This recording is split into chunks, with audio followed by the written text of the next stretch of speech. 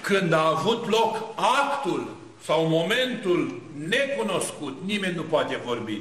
Noi ne dăm cu părerea și teologii și sfinții care li s-au descoperit sau li s-au revelat. Dar nimeni într-un cuvânt nu poate să explice în termeni omenești și pământești și teologici și lingvistici și cum vrei, întruparea Fiului lui Dumnezeu. Categoric rămâne taina tainelor, pentru că aici este și taina tainelor. Vedeți, de obicei, stăm în biserică, da? Să apară acum un înger. Care este primul gest? Te-ai sfi. Sau te-ai înspăimânta, sau te-ai mira. Ei, iată că aici rolurile se schimbă. În loc să se sfiască Fecioara Maria, o copiliță de 13-15 ani, să sfiește îngerul și spune, mai spăimântez, a strigat ție. Deci, vă dați seama ce personalitate spirituală sau duhovnicească era Maica Domnului, dacă Arhanghelul din fața ei se spăimântează? Deci e o întrebare simplă, deci nu e o întrebare în care trebuie să dați dumneavoastră explicația. Un înger se sfiește de chipul unei fetițe, blânde, smerite și curate, dar cu îndrăzneală. Deci nu este o fată care să se sfiască și să zică, vai, îngere, bine că ai venit, ce bucuroasă că am văzut și eu un înger în viața mea. Nu! Vedeți, noi visăm un înger, da? Și povestim a doua zi la toți. Băi, am visat un înger și era așa și așa, știi, parcă am fi trăit cu el deodată. Aici era îngerul Evea, de față. Și unde a venit? A venit în templul Solomon, nici vorbă. La casa din Nazaret, care a fost la Ierusalim, acolo peste domnul ăla puternic, catolic sau franciscan ce el, a văzut că sunt ruinele casei Maicii Domnului, o căsuță mică din piatră cu niște coloane.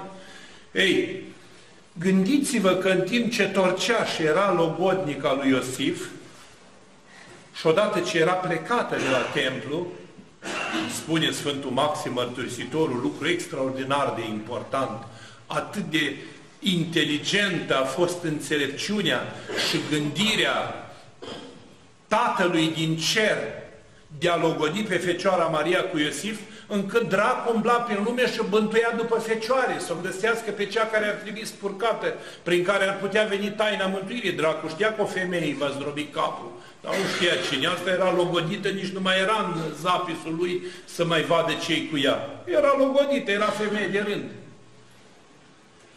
Și vine îngerul și se pleacă în fața ei și ea îndrăznește după învățătura Vechiului Testament. Deci, de ce mă refer după învățătura Vechiului Testament? Maica Domnului a adresat îngerului o întrebare foarte perfectă și bine structurată. Nu cumva e o înșelare ca Evei oarecând? Deci ce citise? Cartea Facerii. Este prima carte din Scriptură citise despre Eva cum a căzut în păcat ascultând sfatul diavolului și neascultând sfatul lui Dumnezeu.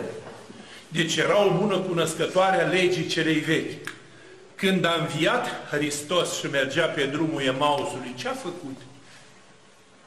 S-a apropiat de cei doi care călătoreau, Luca și Cleopa, s-a prefăcut că e străin și s-a făcut că îi întreabă mirat de ce sunt așa abătuți. Și ăștia, bineînțeles, iritați, adică cum un eveniment atât de mare, când huia Ierusalimul, că a fost omorât Iisus și răstignit, și mai spun nu știu care că a înviat niște femei de-a noastre, că au văzut arătări de înger și ce frumos le răspunde Iisus, zăbavnicilor cu mintea.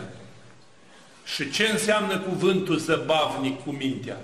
Când citești Sfânta Scriptură, închizi televizorul, închizi frigiderul, oprești mâncarea de carne, beutura de vin, oprești radio, încui ușa ca să nu te deranjeze vecinul și iei pagina din Scriptură și o citești, nu numai ce scrie acolo, trimitere cu trimitere, să vezi cât de adâncă e taina Scripturii și ce taine sunt în ea.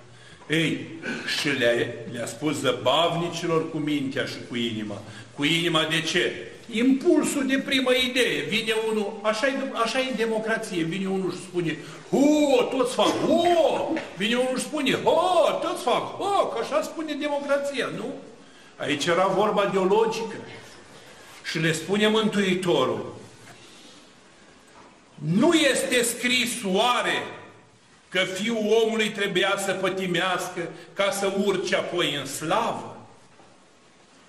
Și le-a tâlcuit lor toate scripturile pe cale de la Moise și până la toți prorocii până la el. Deci ați văzut ce cărți, cele cinci cărți, Pentateucul Vechiului Testament, care era baza și învățătura fundamentală a Scripturii legii celei vechi. Cărțile canonice, cele 22 ale Vechiului Testament, care erau aprobate și găsite, cum arată scrierile, și prinse în canonul Sfintei Scripturi, pe care le recunoșteau idei, în altă parte varianta era de 24.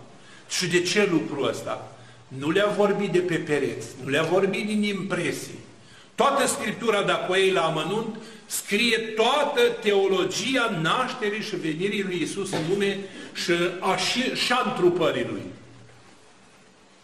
Da, El este mai înainte de toată zidirea, mai înainte de toți vecii. Și ce se petrece mai departe? Îngerul văzându-se pus în încurcătură de Fecioara Maria, se legitimează și el cu ce? Cu cuvinte cerești. Duhul Sfânt va veni peste tine, atâta știu din cer. Puterea celui prea înalt te, se va, te va umbri. Sfântul ce se va naște din tine se va chema Isus. Isus se va chema. Deci iată ce veste îi aduce. Și din nou Fecioara îi pune o întrebare foarte inteligentă. Deci o, o întrebare pe care n-a înțeles-o cândva domnul Lucifer, care se credea Dumnezeu pentru că era netrupesc și era sfetnicul heruvimilor și serafimilor. Și îl întreabă pe înger. Mie îmi vestește aceasta, eu nu sunt împotrivă sau nu pricep. Dar cum îmi vestești mie de zămislire când eu nu știu de nuntă? Deci vedeți ce frumos se identifică fecioria Maicii Domnului din cuvintele Maicii Domnului. Cum îmi vestești mie de nuntă, eu neștiind de nuntă? De dulceață de nuntă. Deci, cu câtă finețe vorbește Maica Domnului. Își, își pune și cuvintele și le alege. Putea să zică, eu nu știu de plăcere anunțului, nu știu ce la împreunare trupează. Nu, a folosit un termen foarte delicat, arătând că legătura dintre bărbați și femei e ceva tainic. Nu știu de dulceață de nuntă. Deci vedeți ce frumos și dacă e vorba de dulceața de nuntă, te duci la cântarea cântărilor, că e o întreagă parodie de dragoste și iubire pe care o scrie Sfânta Scriptură legat de iubirea dintre om și femeie. Să mai cântă stihuri pe la nuntă, dacă le pricepeți voi că sunteți preocupați cu cât să dăm plic și la masă. Ei, după ce îngerul convinge pe fecioara că puterea celui prea înalt te va umbri, fecioara și ia măsura majoră, pentru că aici nu vorbim de orice fel de femeie, deci să avem pardon. Nu putem confunda pe Maica Domnului cu vreo doamnă directoare cu șapte-opt mastere și cu figuri în cap. Deci era femeie insuflată de Duhul Sfânt Aici nu era vorba de școli, de titluri, de nume, de impresii, de figuri, de, mă rog, știți cum sunt tifosele între noi oamenii, nu? Era smerenia întruchipată, era actul sfințeniei, să petrecea aici o taină nepricepută minții noastre când Duhul Sfânt s-a coborât în Fecioara, peste ea ca să o umbrească puterea celui prea înalt, că ăsta e Duhul Sfânt, puterea celui prea înalt, Duhul Sfânt care e la Tatăl Purcede, nu spune crezul. În ea s-a curățit tot lestul pământesc, tot păcatul zămislirii din Ioachim și Ana, după fire, după trup, s-a, zămis, s-a curățat tot, tot ce, deci a fost primul scaun de heruvim în carne și oase care a purtat pe Iisus. De aia spune, cer fiind peștera, scaun de heruvim, fecioara în condac.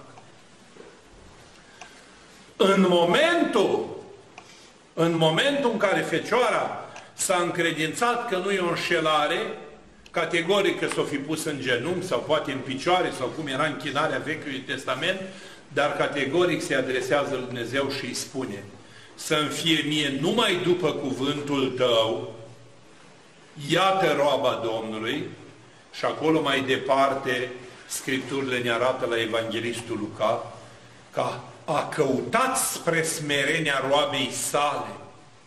Deci vezi, n-a fost un lucru dorit. Nu s-a dus să dea concurs și să termine uh, master superior în feminitate ca să fie plăcută lui Dumnezeu.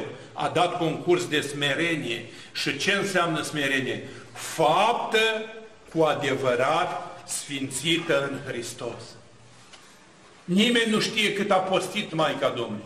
Nimeni nu poate explica cum s-a rugat Maica Domnului. Cel mai frumos a cântat-o miniat și a preluat-o și Daniel Sandu Tudor în taina rugului aprins în acatistul respectiv dogmatic al Maicii Domnului. Cine este aceasta frumoasă ca zorile și curată ca dimineața? Este împărăteasa rugăciunii, este rugăciunea întrupată.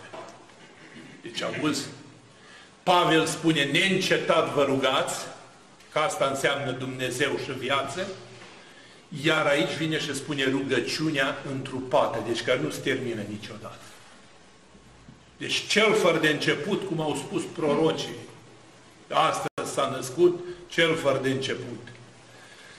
Ei, în momentul respectiv are loc și schimbarea rolurilor din femeia pământească supusă legilor firii, de aici înainte Sfânta Scriptură o va prezenta pe Maica Domnului ca femeia mai presus de fire. Prima exprimațiune de genul acesta o găsim la Elisabeta. Cum este una ca aceasta să vină la mine Maica Domnului meu? A doua, Tresăltarea pântecelui, pruncul în pântece s-a bucurat Ioan Botezătorul din pântece Elisabetei când l-a văzut pe Iisus, făcătorul cer și a pământului. Îți dai seama ce taină. Și mai mult, Fecioara Maria vine și se legitimează ea față de Maria și îi explică taina tot în cuvinte simple, de mult bun gust, de mult augur spiritual că mi-a făcut mie mărire cel puternic și sfânte numele Lui, iată de acum mă vor ferici toate neamurile. Toți o fericesc până astăzi, și melozii, și imnografii, și agiografii, și sfinții, și asceții, și pusnicii. Oare unde este un loc pe fața pământului în care să nu aibă loc imaginea Maicii Domnului, nu neapărat ca icoană, ca trăire, deci tot ce este viață și este mamă, este imaginea Maicii Domnului. Și acum, de-abia, putem spune că am terminat Cartea Neamurilor lui Isus Hristos și acum dă trei detalii pământești Scriptura prin Evanghelistul Matei și spune așa. Iar nașterea lui Isus Hristos a fost așa. Deci ați văzut, deci deja vorbim de naștere, s-a terminat întruparea, s-a terminat buna vestire, s-a terminat chemarea la templu, deci noi am avut un drum. Femeia până să rămână mamă, are un mire, face o nuntă, o crește măsa, o educă, îi dă zestre, o poartă la școală, îi face diplomă, îi, îi umple capul cu știință, o învață gospodină, să calce, să țese, să coase. Ei, la Maica Domnului aceste mărunțișuri s-au scurtat prin faptul că misiunea ei era de altă factură. Dar dacă vă duceți la Vatopedul, în Sfântul Munte, veți găsi brâul Maicii Domnului făcut de mânuța ei, care se închină, nu ăla ce a fost adus spințarea, a fost ceva fragment, banal. Este dita, ai bucată mare din păr de cămilă tors, cu nestemate, cu perle, făcut frumos, se ține în grelaj de aur sub cheie, te păzește când îl săruți, că îți dai seama la câți neghiob sunt, ăla s-ar fura, n-ar rezista acolo, și așa la Cruceada a doua au cărat romano-catolicii să fie sănătoși cât au umplut prin domul din Chiorș și până au cărat ei și au furat din Constantinopol toate odoarele uh, vechimii creștinătății, pentru că n-aveau identitate și le trebuia și lor ceva. Dar mai mult decât atât, ea se ocupa de cusut veșminte arherești, de curățenia templului și de cusut mitre și de făcut obiecte bisericești. Deci Maica Domnului a fost o femeie gospodină, ăsta e cuvântul pentru înțelesul minții dumneavoastră. De data aceasta însă lucrurile se schimbă și trec pur în plan pământesc. V-am spus, cezarul, frigul, ploaia de afară, la povița, cântă colindu. Neaua ninge, nu atinge, vântul bate, nu răzbate. Și spune așa, Maria, deci de acum trece la termenul pământesc, nu-i spune Maica Domnului, că este femeia neidentificată de lumea iudaică a timpului său. Maria, mama lui, fiind logodită cu Iosif, fără să fi fost ei înainte împreună. Deci vezi ce frumos arată categoric că nu e vorba de o împreunare după trup, cum spun sclintiții de penticostale, hoviști, adventiști, baptiști și toate națiile de rătăciți ai minții. S-a aflat având în pântece de la Duhul Sfânt. Scurt. Este prima mărturie, dar omenească. Vine îngerul și o confirmă pe cea îngerească. Iosif, deci vedeți, ca omul, orice om cât de credincios ar fi în sufletul lui, se poate oricând strecura îndoiala. Drept fiind, n-a vrut să o vădească, dar a vrut să o părăsească nascuns. Gândiți-vă la ce s-a expus Maica Domnului, ca femeia Vechiului Testament, un copil nevinovat, lângă un bătrân de 90 de ani, să o vezi cu burta la gură, părăsită de bărbatul ei, oare ce putea fi mai departe? Victima unui omor cu pietre în afara cetății, conform rânduielii Vechiului Testament. Dar n-a fost să fie așa. Pentru că lucrurile nu stăteau așa. Și cugetând, deci iată ce frumos, vedeți, deci Iosif n-a fost un om de la un, un nătărău de la care știi, gata, ce-mi trece prin cap, hai pălărie. Nu? Cugetând el în sine aceasta, deci vă dați seama în ce contemplare sau rugăciune era Iosif și în ce frământare sufletească, gândindu-se la două lucruri. Am luat-o din templu. A crescut o Zaharia în Sfânta Sfintelor. Mi-a, mi odrăslit toiagul când am luat-o de logodnică. Ceva nu se poase aici, ceva nu, nu corespunde. Și era într-o frământare permanentă. Și iată că a fost nevoie nu de o revelație pe față, ca la Avram, deci n-a fost o revelație ca la Mamvri, să vină trei tineri, să mănânce, să discute și să pună la cale problemele lui Dumnezeu. Nu s-a arătat îngerul în vis, dar cu precizie exactă. Bine, aici când vorbește de înger că s-a arătat în vis, primul lucru care trebuie să vă rugăm de la ambon este acesta. Să o lăsați mai ușor cu îngerii din vise, că era o glumă la adresa ortodoxiei, ci că sunt două variante de ortodoxi. Ortodoxi și autentici, când vorbesc ei cu Dumnezeu și aceasta e bine, și ortodoxi cu care Dumnezeu vorbește cu dânsii și aceea nu-i prea bine. Trebuie imediat anunțat spitalul. Deci ați înțeles? Dumnezeu nu se adresează oamenilor față către față decât în rare ori și rare cazuri. Și pentru merite deosebite, nu pentru o catismă din saltire sau un părtășane la paze zile. Suntem prea mici pentru taina aceasta. Și i-a spus așa, Iosife, fiul lui David. Deci, vedeți, știi exact de unde venea Iosif, de pe ce linie. Să nu te temi a lua pe Maria logodnica ta. Nici îngerul nu-i vestește ce fel de Marie este. Dar îi spune la final cu ce fel de Marie are de-a face. Că ce s-a zămislit întrânsa este de la Duhul Sfânt. Vedeți? Mărturie direct din cer. Acum eu întreb, pe cine să cred? pe sectarul care a contrazis Scriptura și pe Cornilescu care a luat-o pe arătură și s-a rătăcit la altă sectă? Sau să ne ținem de învățătura revelată a Bisericii de 2000 de ani venită prin înger? Ea va naște fiu. Iată ce îi spune, tot ce are de făcut, mersul, cursul lucrurilor. Îi vei pune numele Iisus că Cel va mântui poporul său de păcate. Deci El va curăți poporul de păcate. Acestea toate s-au făcut ca să se împlinească ceea ce s-a zis prin prorocul. Și iată, îi prorocește îngerul ce spunea mai departe Isaia cândva pe la 14 cu 14 sau 7 cu 14 trimiterea. Iată, Fecioara va avea pântece, va naște fiu, se va chema numele lui Emanuel, care se tălcuiește cu noi, este Dumnezeu. De unde știa acest înger povestea asta cu citatul ăsta? De unde, de unde, o, de unde o dobândise? Acest înger nu era un înger oarecare. În tradițiile vechi, cum se spune pe insula aceea unde a fost duș în timpul lui Ptolemeu, Filadelfu, cei 70 din, de înțelepți din Septuaginta, că unii spun că s-a tălcuit toată Scriptura de Septuaginta, alții spun că s-au tălcuit numai cărțile profeților din Septuaginta, nu, nu, sau primele cinci cărți și o parte din. Deci nu fiecare litera Scripturii până la sfârșit. Sunt multe ipoteze.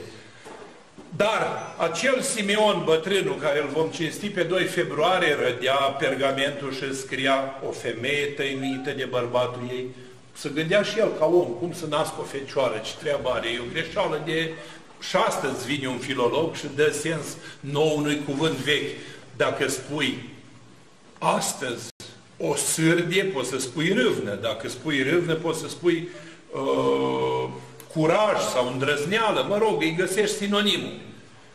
Ei, sinonimul a fost spus de înger. Tu nu modifica textul Scripturii, că nu vei muri până nu vei vedea minunea cu ochii. Și așa spune Simeon, la 300 și ceva de ani, cum spune tradiția, acum slobozește pe robul tău. Și minciună nu o fi că i-au stat o vreme oasele într-o biserică din Constantinopol. Așa. Și deșteptându-se din somn Iosif, că acel înger nu va sta degeaba, mult îl va mai chinui pe Iosif. El îi spune când să plece în Egipt, el îi spune când să se întoarcă, el îi spune când să schimbe locul uh, pentru că n-au pierit prigonitorii, că Irod și-a lăsat și el trei pui de cățea la conducere. A împărțit, a împărțit Ierusalimul și Palestina în trei ca să le facă la toate odrasele câte un tron. Deci dintr-un tron mare a făcut unul mic, adică s-a decimat împărăția romană, e un simbol al căderii și s-a întemeiat împărăția lui Hristos. Și îi spune, deșteptându-se Iosif a făcut pe cum i-a poruncit îngerul și a luat la el pe logodnica sa. Și aici este finalul fericit cu care vă închei și nu vă mai plictisesc. Și fără să o fi cunoscut pe ea, Maria a născut pe Fiul cel unul născut, căreia i-a pus numele Iisus.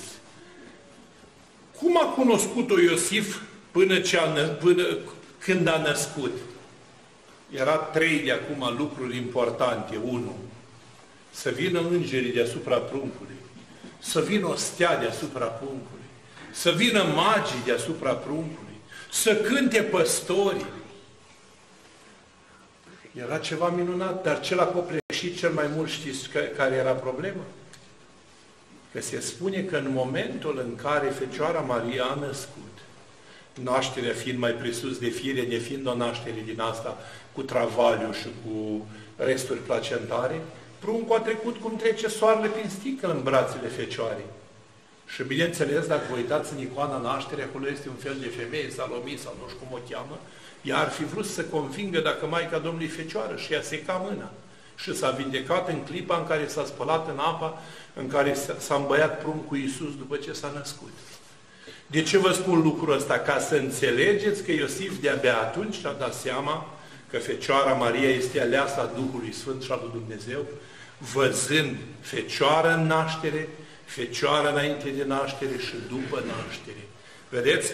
Aceasta este taina nașterii lui Isus Hristos, dar n-am vrut să intru în amestec cu sărbătorii mai adânc, cu magi, cu tot. Astea vor fi spuse pe parcursul praznicului la ceasurile împărătești și când vor fi sărbătorile Crăciunului, ce am vrut doar să înțelegeți că această genealogie de câte 14 neamuri, a câte trei seminții, de la Avram la David, de la David la Babilon și la Babilon la, la Iosif, când s-a născut uh, Iisus, are un rol extraordinar de important să arate că Scripturile nu sunt de minciună și numai Duhul Sfânt poate alcătui un asemenea arbore, că mai avem în Scriptură unul, dar pleacă invers.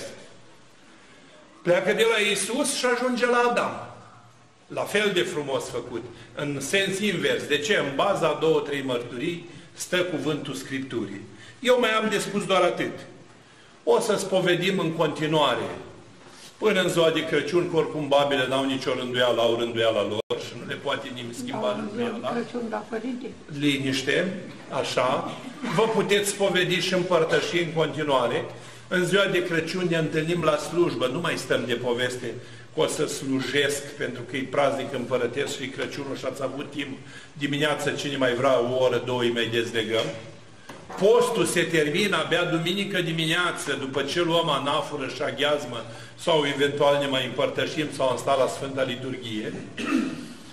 și recomandarea frumoasă este ca în aceste zile, părerea mea adevărată, să fiți pe lângă casă făcându-vă curățenii, tot ce mai aveți dumneavoastră, să primiți câte un colindător, dar primiți pe cei ce colindă frumos și disciplinat, și nu-i primiți pe cei ce își bat joc de colinde și strică tradiția lor și cântă colinda aia, dăm bani.